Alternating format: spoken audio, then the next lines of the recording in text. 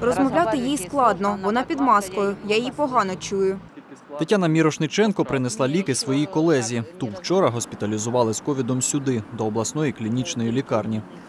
Собрали деньги, привезли лекарства. Зібрали гроші колективом, привезли, ліки купуємо. Я купила, син тепер дістає. Дуже складно по аптеках знайти ліки. Вчора вісім аптек об'їздила. Немає, нема. Складно було потрапити. Питаю, як потрапила. Каже, домовилася через через лікаря. доктора. Навідати хвору на коронавірус маму з Києва приїхала Світлана.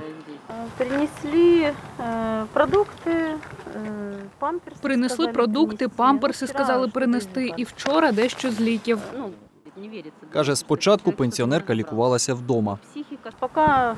Пока э, будем говорить так, что... Поки не знайшли, так би мовити, знайомих, не могли її покласти. Відповідали, місць немає, місць немає. Вивезли крісло ввечері, щоб ну, підняти, тому що слабка людина. У неї вже ну, сил не було. І лікарі якось так розгубилися, як на другий поверх крісло дотягти через те, що ліфту немає. Раніше тут була офтальмологія, а з грудня будівлю віддали для інфікованих. Це приміщення не призначене для тих, хто не може пересуватися самостійно. Тож щодня до обіду в лікарні мають чергувати чотири рятувальники, допомагати заносити пацієнтів на другий поверх, розповів телефоном речник надзвичайників Євген Василенко. Якщо нам надійде лист, що е, е, якщо можна збільшити час їх чергування цілодобовий, то приймемо рішення збільшити цей час. В обладміністрації до рятувальників, щоб продовжити години чергування, не зверталися, розповідає радник очільниці обладміністрації Олександр Галацан.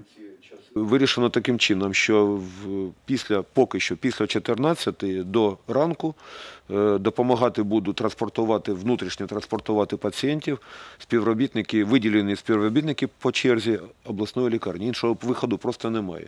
Ми зараз розглядаємо варіанти зроблення, вироблення там, встановлення там не ліфту хоча б, але хоча б підйомників, які б дозволили з першого на другий, з другого на третій поверх піднімати хворих.